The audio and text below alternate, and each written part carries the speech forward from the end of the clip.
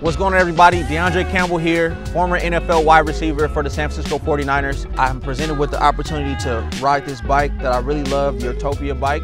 I really love this bike because it's super agile.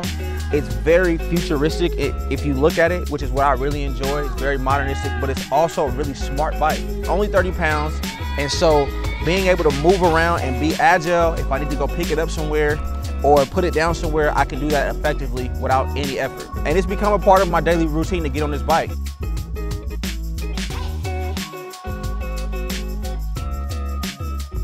The thing that made this bike really special to me is the fact that the same approach that I took when I played as a receiver in the NFL is the same approach that I take in life. And this bike allows me to do that through fitness because it's very agile, but it's very powerful and it allows me the ability to get that work in that I need to allow me to continue to be successful, not just in the game of football, but in life and with my overall health.